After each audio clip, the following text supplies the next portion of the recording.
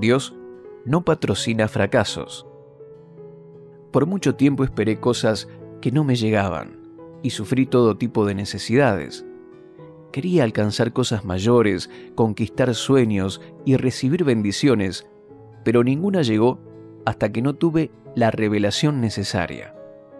Cuando recibimos la revelación, recibimos todo, porque la revelación de Dios es la luz verdadera, es vida, es la realidad espiritual que lo gobierna todo. El reino de Dios se mueve solo por la revelación del Espíritu Santo. Jesús dijo, mi reino no es de este mundo. Juan capítulo 18, versículo 36. Y nosotros pertenecemos a ese reino que no es de este mundo. El reino de Dios viene cuando recibimos a Jesús en el corazón, por lo que pone al Rey de nuestro lado. Él nos dio su misma autoridad para que gobernemos como Él lo hizo en la tierra. La enfermedad, la pobreza, la soledad, el vacío espiritual, la escasez de resultados y la falta de crecimiento no pertenecen al reino que gobierna Jesús, ni a nuestra herencia, sino que pertenecen más bien al reino que gobierna el pecado y Satanás. Recuerda siempre, Dios no patrocina fracasos. Para los que tienen fe, los fracasos son temporales y Dios los usa para llevarnos definitivamente al éxito. Tu fracaso de hoy es solo un escalón para el éxito permanente. Bíblicamente la prueba o desierto debe ser de corta duración. Aunque pensemos que tengamos que pasar algunas pruebas, eso no significa que nos vayamos a quedar a vivir en la prueba. Cuanto más rápido aprobemos nuestro examen delante de Dios, más rápido recibiremos esa tierra de plenitud. Creyentes que viven en el desierto. Hay una clase de creyentes que se queda a vivir en las pruebas porque no cumplen con los requisitos de la fe y la obediencia.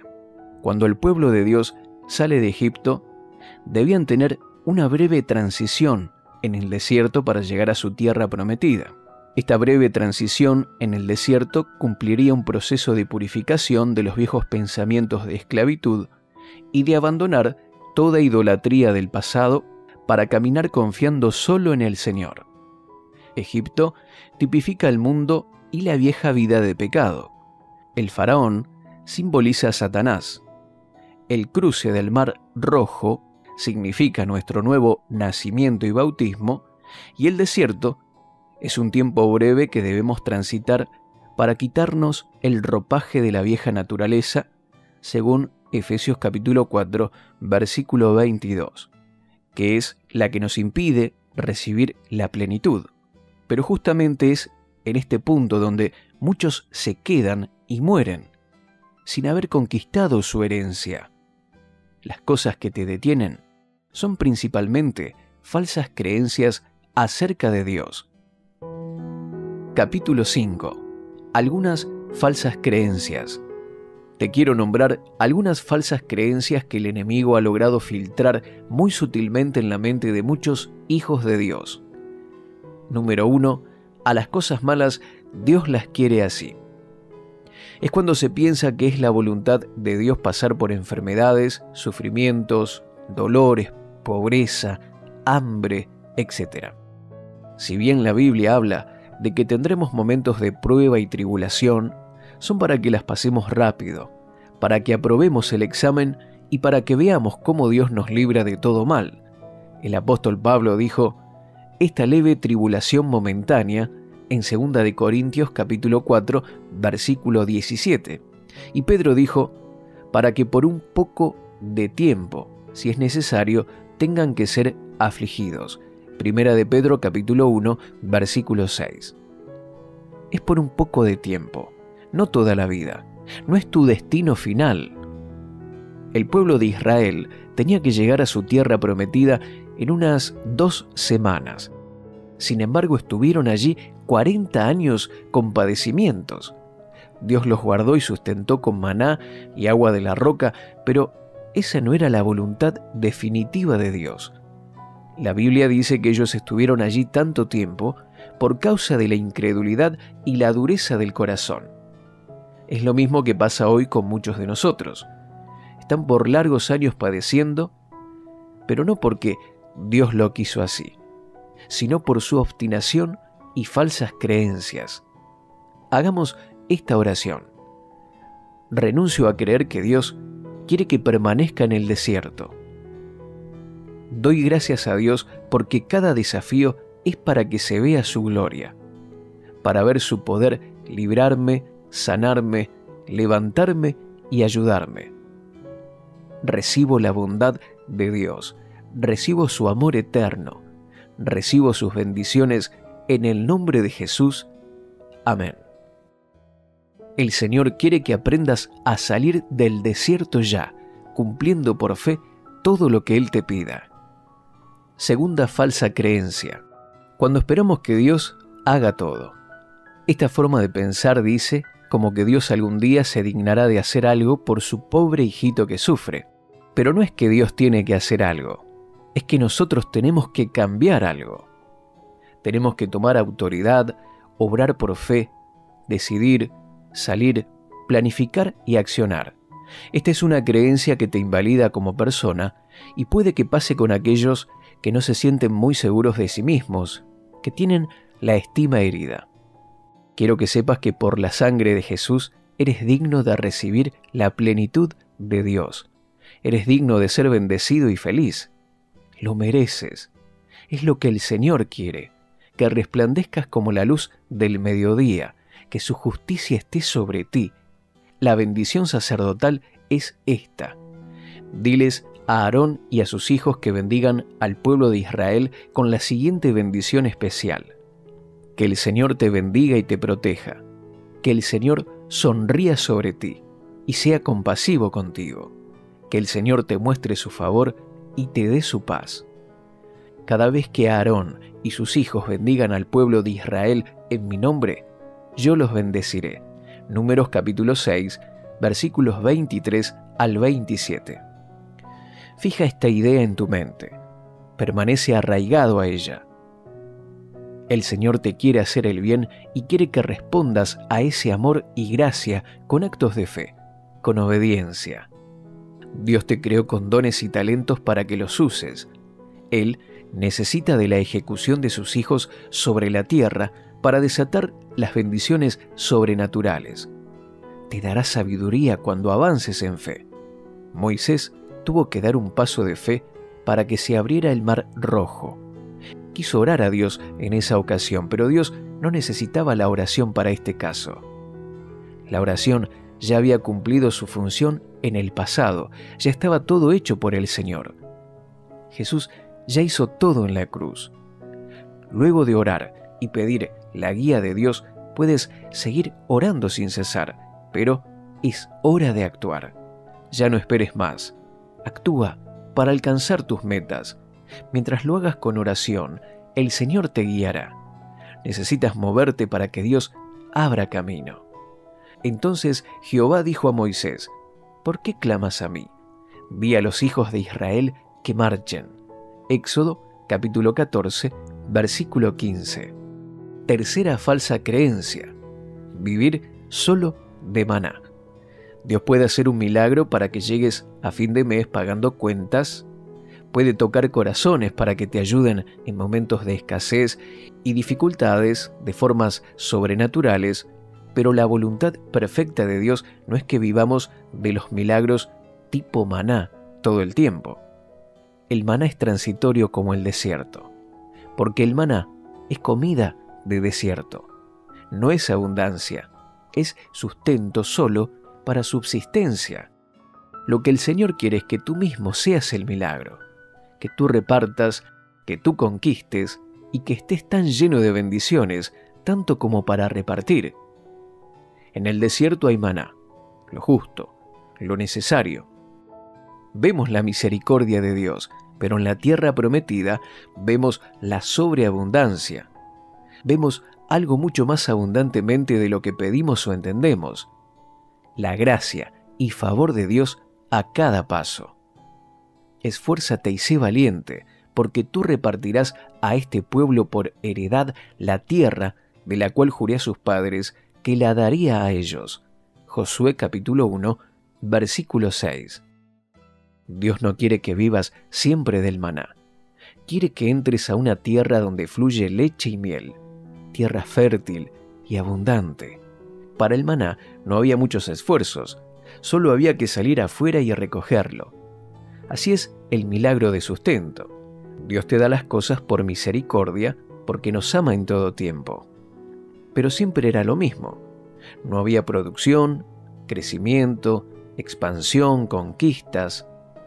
Si pasaste por mucho tiempo esperando siempre un milagro que te sostenga, llegó el tiempo en que tú mismo seas un milagro andando. El tiempo de desierto no debe ser permanente. Algunos pasan muchos años así y hasta mueren en él. Basta de rutinas, basta de hacer lo mismo y seguir aguantando en el desierto. Es tiempo de levantarte y ser guerrero, valiente y esforzado. Dios te quiere dar todo para que seas el que produzca, el que lidere, el que maneje empresas y ministerios. Él quiere que conquistes tus sueños y expandas el reino de Dios sin límites. Si te encuentras solo y sigues haciendo las mismas cosas por muchos años y no se te abrieron puertas, es hora de que comiences a cambiar tus rutinas haciendo cosas nuevas, porque las rutinas a veces se tornan en ataduras que te impiden avanzar. Todo lo que ingresa a tu vida ingresa al reino de Dios, y cuando tú expandes el reino de Dios, el reino de Dios te expande a ti. Cuarta falsa creencia. Malinterpretar lo milagroso. Dios hará milagros cuando sea una intervención de cosas en las cuales nosotros no podemos tomar ninguna acción más que esperar un milagro. Pero eso no quiere decir que debamos tener una vida pasiva sin hacer nada. Por ejemplo, se nos quema una lamparita de luz. No podemos orar para que Dios la repare tenemos que ir y comprar la lamparita y cambiarla. Si no tenemos el dinero, debemos trabajar para tener dinero. Y si no trabajamos para tener dinero, quedará la lámpara rota. Porque eso Dios lo puso en nuestras manos y no en sus manifestaciones sobrenaturales. Y aunque este ejemplo parece absurdo, sin embargo, esa es nuestra actitud muchas veces cuando esperamos que Dios haga ciertos milagros cuando en realidad somos nosotros los que tenemos que activar el principio de la ejecución, la acción y el trabajo necesarios para que las cosas sucedan. En cambio, cuando las circunstancias ameriten una intervención sobrenatural de cualquier tipo, porque ya nosotros no podemos hacer nada, entonces Dios lo hará por la fe de sus hijos. Él se mueve bajo sus propios principios. Él está perfeccionando nuestra fe y necesita de nuestra ejecución. Hay una frase sabia que lo resume de esta manera. Haz todo lo posible y Dios hará lo imposible. Por ejemplo, en Josué capítulo 10, versículo 12, vemos a Josué luchando y peleando para ganar la batalla, pero en medio de la lucha tuvo un gran problema si el sol dejaba de alumbrar, corría el riesgo de perder la batalla. Ellos habían llegado a su límite. Ya no daban más con su lucha y esfuerzos. Entonces supo que era hora de ver un milagro. No había opción. Esto ya no era una jurisdicción de la posibilidad humana, por lo que ordenó con fe y sucedió el milagro. El sol se demoró en poner y lograron ganar la batalla. Dios obrará siempre que nosotros ya no podamos trabajar para conseguirlo.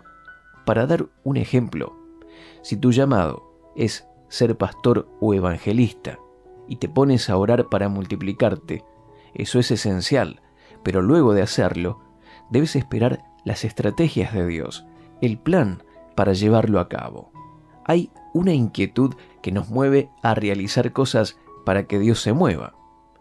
Debes orar más bien así. Señor, ¿qué quieres que haga? ¿Qué cosas tengo que hacer para que se produzcan los milagros? Dame nuevas y originales estrategias para alcanzar a los perdidos, para fortalecer mi iglesia. no se trata de esperar solo cosas sobrenaturales porque lo sobrenatural actúa constantemente en nosotros. Vivimos rodeados y llenos de lo sobrenatural aunque no veamos milagros creativos todo el tiempo. Todo se maneja desde lo espiritual, desde lo que no se ve. Los milagros creativos de cosas físicas que no existen son obras maravillosas del amor de Dios para con sus hijos.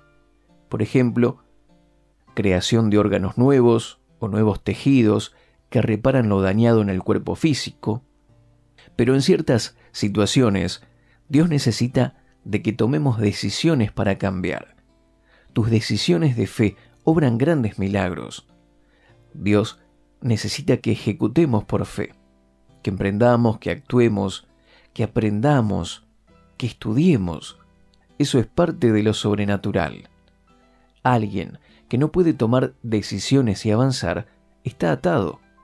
Por eso, poder tomar la decisión de fe para soltarse de lo que te ata es una liberación espiritual y es en cierta forma un milagro. Dios respalda y bendice el trabajo por fe. Por eso es probable que has creído equivocadamente que un día vendrá un milagro y alguien te ayudará.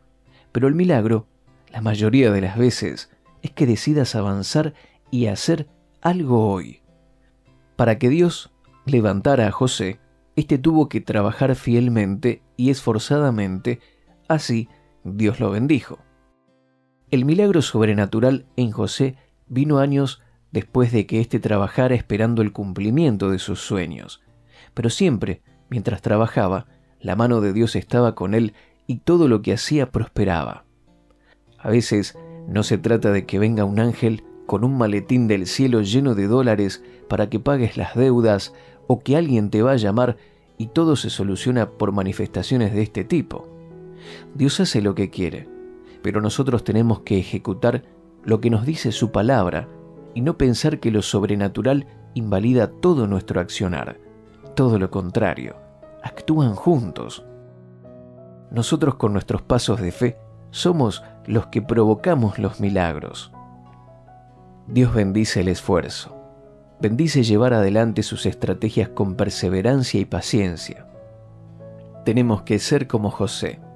Donde quiera que estaba, prosperaba en cualquier actividad que participaba era excelente y promovido, porque cumplía con todos los requisitos de Dios siendo esforzado y valiente. Deja atrás tus lamentos y no pierdas más el tiempo. Levántate y echa mano de tu herencia. Trabaja fiel y esforzadamente sobre tus metas y sueños, y pronto verás la mano de Dios obrando a tu favor. No necesitaba atender el jefe de la cárcel cosa alguna de las que estaban al cuidado de José, porque Jehová estaba con José y lo que él hacía, Jehová lo prosperaba. Génesis capítulo 39, versículo 23. Presta atención al verso anterior que dice, lo que él hacía, Jehová lo prosperaba. Debes hacer, no solo esperar. Es tiempo de hacer cosas distintas para que tengas resultados.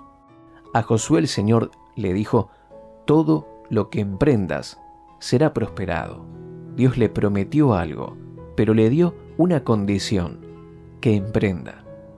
Así que si Dios no te bendice, es porque Él está esperando que emprendas, y no me refiero solo a llevar proyectos adelante, sino a cualquier situación de tu vida que necesita atención debes emprender el cambio, emprender la búsqueda de la solución por fe. Debes emprender cómo salir de la soledad, cómo ser sano, etc. Emprender es hacer algo, es una acción, es el principio de la ejecución. Todo lo que Dios haga lo hará por medio de tu fe y tu acción. El principio de la ejecución. Porque como el cuerpo sin espíritu está muerto, así también la fe sin obras está muerta. Santiago capítulo 2, versículo 26. Siempre que ejecutemos una acción, que intentemos algo, que probemos, estaremos muy cerca de resultados positivos. Cuando no realizamos ninguna acción ni arriesgamos cosas, estaremos muy lejos de la bendición. El principio de la ejecución nos dice, para lograr algo, tenemos que hacer algo. De lo contrario, no habrá posibilidades de triunfar. En la acción hay reacción y por ende posibilidades concretas. Nunca arriesgar es un fracaso, porque cuando intentas cosas te acercas al éxito, pero si no lo intentas, jamás el éxito te golpeará a la puerta. Fuimos creados para conquistar cosas, para alcanzar, para hacer algo que nos beneficiará a nosotros y a muchos más. Tu felicidad en Dios está del lado de la acción. Cuando ejecutes tu propósito por el cual fuiste creado es cuando cumplirás el plan de Dios. Pero todo esto requiere algo, ejecución. Cuando te sea revelado este principio, verás la ley de la ejecución por todos lados y por supuesto, donde primero la debemos ver es en la Biblia. Eclesiastés capítulo 11, verso 4 nos dice, El que al viento observa, no sembrará, y el que mira las nubes, no cegará. La Biblia está llena de historias de acción, historias de personas como nosotros que a pesar de sus errores, debilidades y temores, dieron el gran paso de tomar riesgos confiando en Dios y finalmente alcanzaron las promesas. En Hebreos 11, del verso 7 al 40, observamos el desfile de los héroes de la fe. Ellos sabían que la fe sin obras es muerta. El verso 33 dice, por fe conquistaron reinos, hicieron justicia, alcanzaron promesas, taparon bocas de leones. El denominador común es un verbo, una acción. Conquistaron, hicieron, alcanzaron, taparon. La fe no es pasividad o resignarse a esperar. Dios le dice a Josué, todo lo que emprendas prosperará. Estamos muy acostumbrados a escuchar Dios te prosperará como algo mágico. Pero nos olvidamos de la otra parte del texto. Lo que emprendas también es ejecución del verbo emprender que significa hacer algo. También en la vida de José se manifestó el mismo principio de ejecución y lo resume de esta manera al final del verso 23 de Génesis capítulo 29. Jehová estaba con José y lo que él hacía, Jehová lo prosperaba. Notemos que no era una simple bendición, sino que Dios bendecía lo que José hacía. Si miras atrás en tu vida, te darás cuenta que todo lo que lograste fue porque reaccionaste y te animaste. Seamos como José y Josué. Por un lado, siempre fieles y pacientes, pero sin dejar de lado el esfuerzo, la acción y el espíritu emprendedor. Hoy el Señor nos dice, todo lo que emprendas te saldrá bien, así que simplemente hazlo. Quinta falsa creencia. Entendiendo mal la unción. A veces en nuestro espíritu estamos bendecidos, pero nuestra mente está tan saturada de cosas que no sirven, con paradigmas, y prejuicios, que Dios no puede usar la mente aunque tengamos un buen corazón. La mente es quien procesa lo nuevo de Dios, la que recibe la expresión del Espíritu. La Biblia dice que tenemos que renovar el espíritu de nuestra mente y eso significa que Dios siempre estará haciendo cosas nuevas porque las cosas nuevas pertenecen a Dios. Nuestra mente es el procesador de las órdenes del espíritu y la Biblia nombra el espíritu de nuestra mente, que es diferente a solo decir nuestro espíritu. El espíritu de nuestra mente es la capacidad que recibimos de comprender con la mente todo lo que el Espíritu Santo imparte en nosotros. El espíritu de nuestra mente libera los pensamientos de esclavitud, temor, falsas doctrinas de hombres, palabras muertas, y los cambia por pensamientos dinámicos y ungidos, libres de toda religiosidad y legalismos. El espíritu de nuestra mente no se trata solamente de dejar de pensar en pecados, va mucho más allá que eso. Dejar los pecados también pertenece a la parte esencial, pero además de esto nos habla de una mente de avanzada, de vanguardia en el movimiento del reino de Dios, según el tiempo que nos está tocando vivir en nuestra generación, en nuestra ciudad y en nuestro destino preestablecido según el plan perfecto de Dios. Dios tiene un diseño para tu vida. Ese diseño es el mejor plan que puedas seguir. Solo planifica cosas y confía en que Dios guiará tus pasos. Proverbios capítulo 16, verso 9 dice, El corazón del hombre piensa su camino, mas Jehová endereza sus pasos. Sin tener una mente renovada, estamos muertos para avanzar. Podemos tener un gran corazón, un espíritu puro, pero al pasar por la mente se bloquean todas las cosas que Dios quiere hacer. No podemos amoldarnos a una rutina muerta, estéril y de otros tiempos. No podemos permitir que pensamientos mundanos y carnales se instalen en nuestra mente. No podemos permitir que nuestras creencias preestablecidas de Dios, todo lo que nos enseñaron, sea una traba para cosas nuevas. Dios tiene preparados ministerios y obras maravillosas para cada uno de sus hijos, revelaciones, unciones nuevas, ideas extraordinarias, soluciones asombrosas, sabidurías ocultas en los cielos que serán derramadas en estas mentes contenedoras de todo lo nuevo de Dios. A partir de hoy, ábrete a cumplir el gran propósito de Dios para ti. Es único, es nuevo y es original todo tendrá un toque exclusivo, porque Dios no creó clones, sino hijos con actividades y espíritus diferentes. Dios se goza en la diversidad, y en la diversidad está la majestad de Dios. ¿Acaso no has visto la naturaleza, las flores, los animales y los paisajes? Son todos diferentes y asombrosos, lo mismo nosotros. Cada estrella tiene su propio brillo.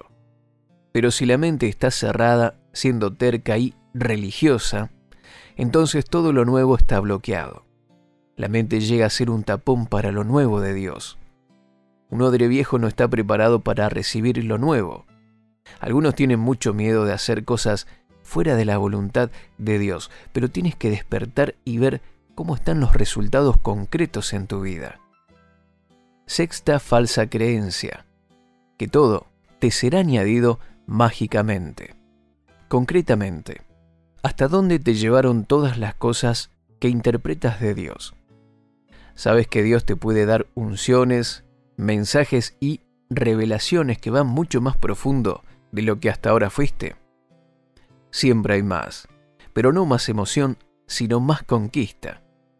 Algunos dicen busca primero el reino de Dios y todo lo demás será añadido, pero se refieren a que oren y que todo lo demás pasará solo. Sin embargo, has recibido todas las añadiduras. Estás lleno de ellas. Si no recibiste aún las añadiduras, puede ser que estés buscando mal el reino de Dios.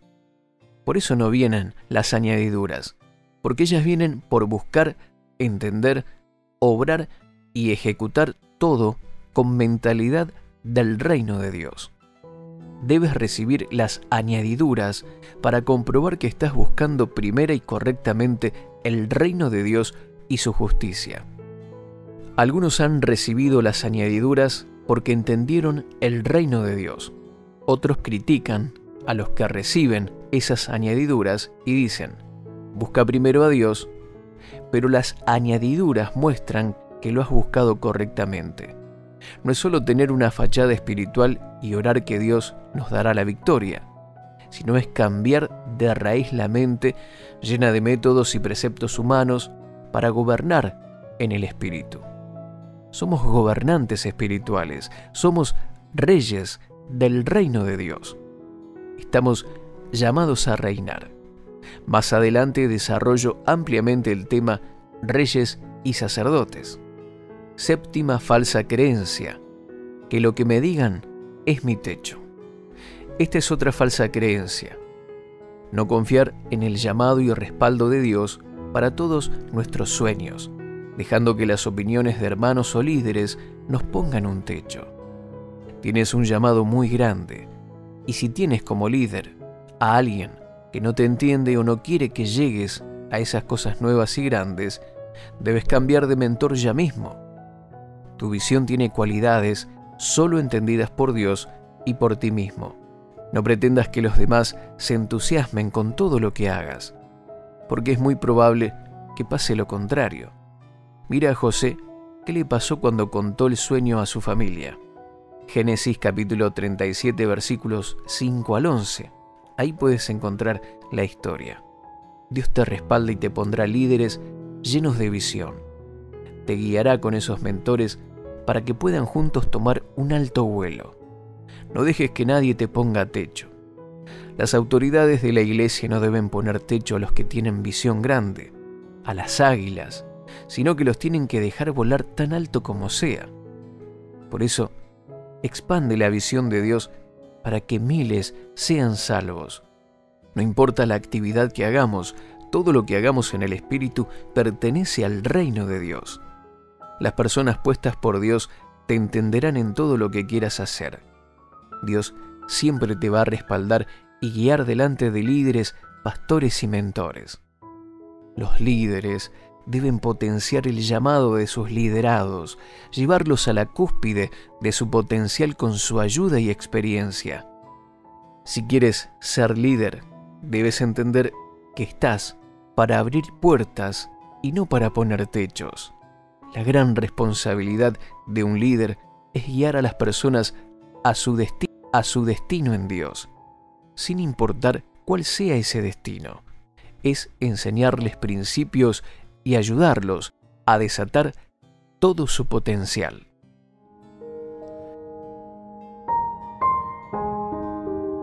Octava falsa creencia. Pensar que lo secular es pecado y del diablo. Gracias a Dios, esta falsa creencia está quedando atrás. Dios ya ha liberado la mente de su pueblo con esta falsa creencia tan ridícula entre los evangélicos. Debemos entender que no hay ninguna actividad secular y de la iglesia. El reino de Dios abarca todo el universo y si Dios te llama a desarrollar alguna profesión que no sea estrictamente espiritual, tienes un llamado de todas maneras, un destino que cumplir. Tú podrás ser el más excelente de los profesionales en tu área y de esta forma colaborar con la obra de Dios de muchas maneras. El diablo usa cosas creadas previamente por Dios para sus malvados planes, los pervierte o los usa para su reino de maldad. Por ejemplo, Dios creó la música y el diablo puede usarla para sus propósitos. Pero toda clase de música se inició en Dios. El Señor creó la capacidad de hacer obras de arte y el enemigo puede usarla para exaltarse a sí mismo, pero el arte se inició en Dios. Nuestra base de sabiduría y conocimientos se apoyan en Cristo, quien vive en nosotros. Por lo tanto, tenemos una llave para abrir, crear y desarrollarnos sin límites. Todo nos fue entregado por nuestro Padre. Nunca pienses que ciertas cosas son de Dios seculares. Todas las cosas provienen de Dios, solo que algunas fueron pervertidas. Tu misión es usar la sabiduría de Dios para enderezar los caminos torcidos del conocimiento. Éxodo 35-31 dice, y lo he llenado del Espíritu de Dios en sabiduría, en inteligencia, en ciencia y en todo arte. Otro ejemplo en Efesios capítulo 1 verso 8, que hizo sobreabundar para con nosotros en toda sabiduría e inteligencia. Colosenses capítulo 2 versículos 2 y 3 dicen, hasta alcanzar todas las riquezas de pleno entendimiento, a fin de conocer el misterio de Dios el Padre y de Cristo, en quien están escondidos todos los tesoros de la sabiduría y del conocimiento. A veces hablamos sin abrir la boca. Con esto te quiero decir que para hacer la obra de Dios, no necesariamente tienes que usar versículos todo el tiempo. Los versículos deben ser un regulador interno y real en tu vida. Tienes que ser lleno de la palabra y la revelación, pero eso no significa que estés todo el tiempo repitiendo los versículos a la gente donde quiera que vayas. Hay momentos para todo. No te apresures. Se puede ser ejemplo en nuestra vida primero para que luego las palabras tengan mayor peso. Si quienes te rodean ven que vives feliz, de forma íntegra, alegre, transparente, honrada, de manera ejemplar, será suficiente para que crean tus palabras. Pero cuando crean las palabras de tu boca, fue porque mucho tiempo antes te aceptaron a ti como confiable.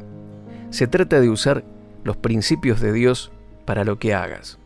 Luego llegará el tiempo donde puedes declarar la revelación de Dios para la salvación. Esto pasa principalmente en los lugares donde las personas tratan contigo cotidianamente como la familia, el trabajo, los vecinos o la universidad. Novena falsa creencia.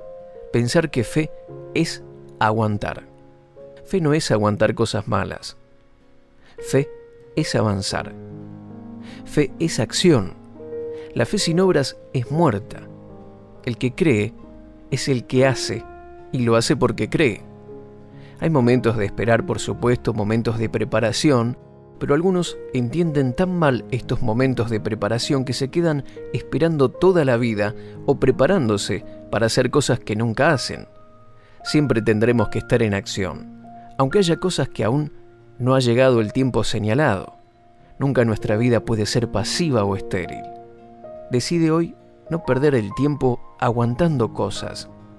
Toma determinación en obedecer cada día lo que creas conveniente de parte de Dios.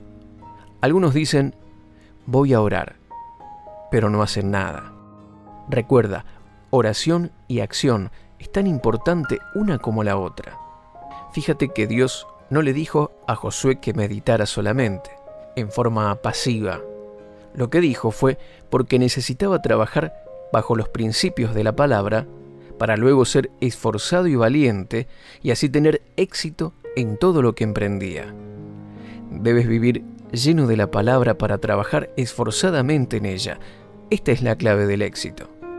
Dios le declaró a Josué cuál era el secreto del éxito. Y el secreto del éxito no era aguantar en fe, sino andar en la integridad de Dios para luego accionar en fe.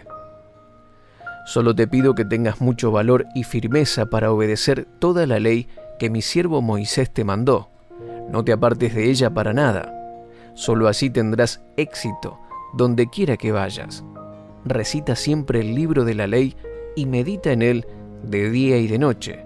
Cumple con cuidado todo lo que en él está escrito. Así prosperarás y tendrás éxito. Ya te lo he ordenado sé fuerte y valiente.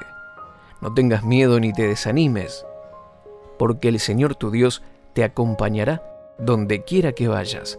Josué capítulo 1, versículos 7 al 9, nueva versión internacional.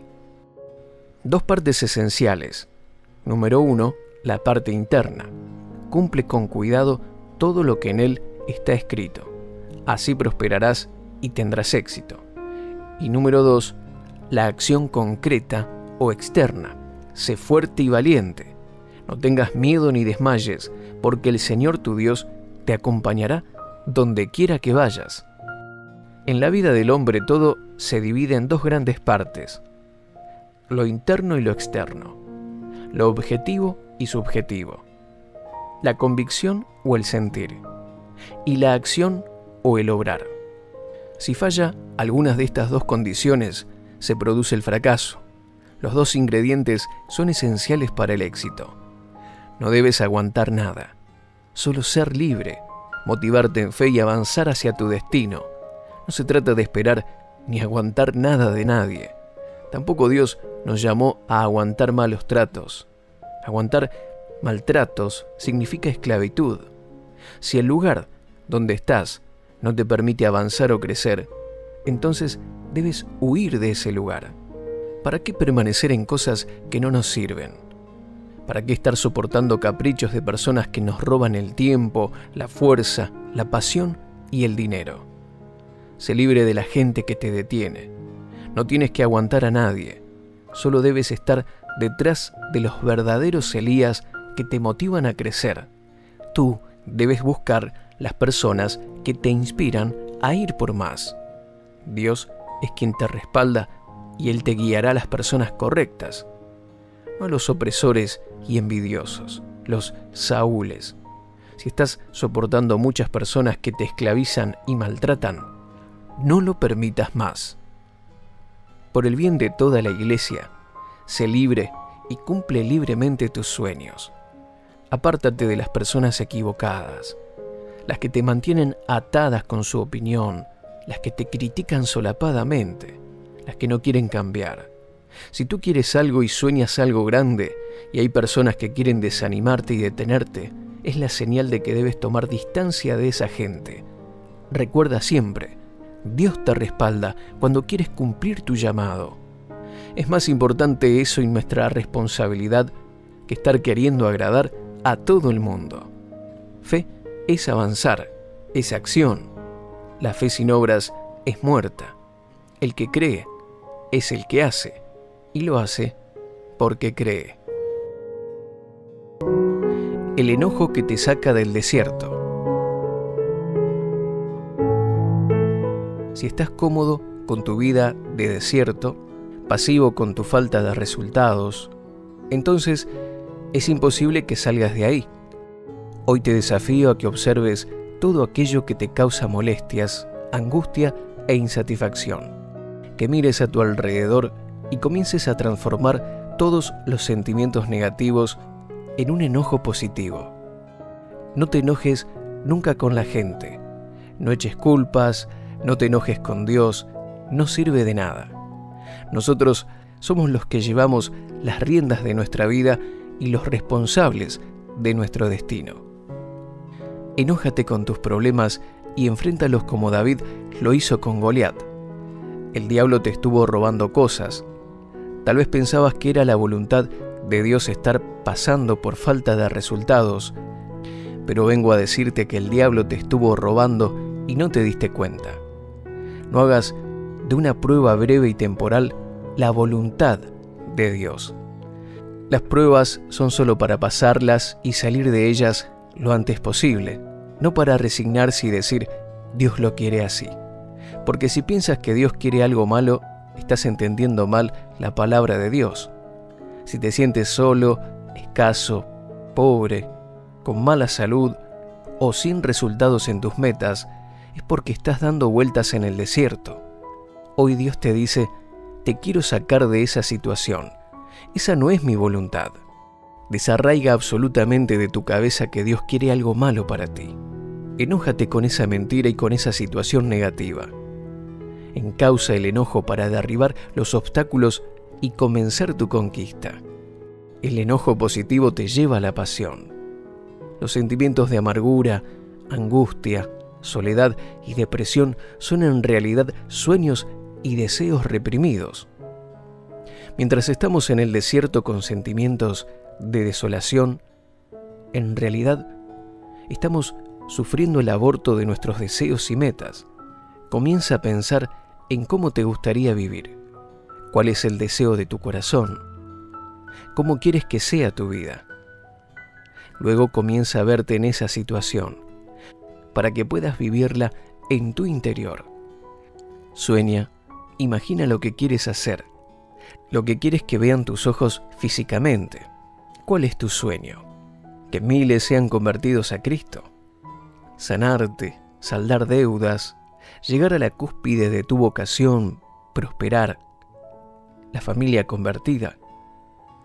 Levanta tus ojos de las arenas áridas y secas del desierto y comienza a ver más allá.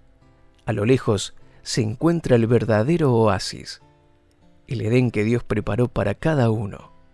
¿Sabías que Dios tiene un jardín del Edén personal? Adán y Eva perdieron el derecho a estar en ese paraíso, pero Jesús lo recuperó para ti. ¿Sabías que en la tierra prometida está el cumplimiento del plan de Dios? Por eso tu desierto no te debe desconcentrar de la meta. Alza tus ojos y mira lo que viene por delante. Tómate un minuto ahora mismo y visualiza las cosas como las quieres. Esa forma de vida, esa situación que te motiva, tu resultado, lo que quieras lograr. ¿Lo puedes ver? Ya estás más cerca de tu conquista. Transforma hoy la amargura y la angustia en pasión por llegar a la meta. Apasionate tanto en tus sueños que aplaste por completo la depresión interior. Apasionate tanto hasta estar enfocado por entrar en tu plenitud. Tu vida es un tesoro invalorable.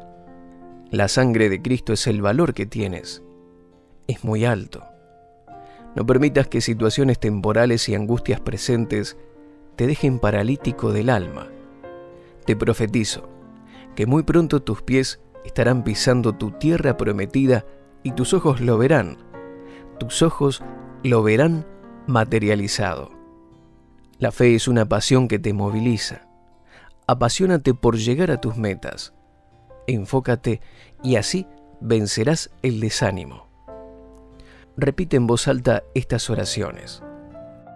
Padre Celestial, ahora recibo de tu Espíritu Santo la capacidad para ver lo que tienes para mí. Renuncio a creer lo contrario a tu palabra Desecho de mi vida todo desánimo, amargura y opresión en el nombre de Jesús. Amén. Soy conquistador como Josué y Caleb. Voy a avanzar a mi tierra prometida y el tiempo de desierto se termina. Prepárame, Señor, y úngeme para un nuevo tiempo. Soy más que vencedor.